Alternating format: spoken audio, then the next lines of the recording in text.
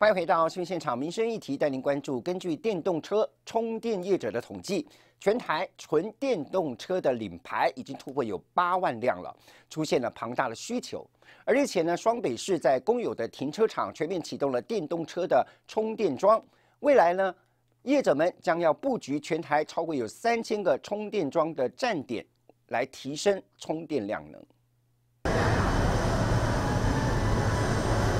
满足电动车驾驶的充电需求，台北市公有停车场即日起正式布局一百六十五处公有停车场充电桩，以 AC 慢充交流电为主，规格以 J 一七七二以及 Type 二两种规格，平均一度八元。支付方式从悠游卡、信用卡到 Apple Pay 都可以。事实上，在今年的七月，我们就已经达到一百六十五场、六百五十桩的充电桩。那今年年底呢，就刚才卢主持人讲，今年年底就会达到一千两百桩。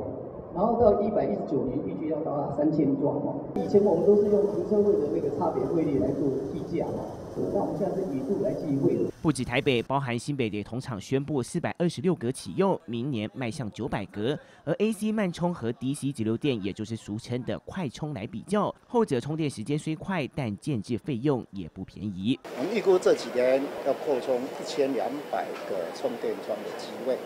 希望让市民使用能够方便。更重要的，希望能够低价，尤其在安全的部分，我们会做好这个黄河塔以及一键通二十四小时的通关。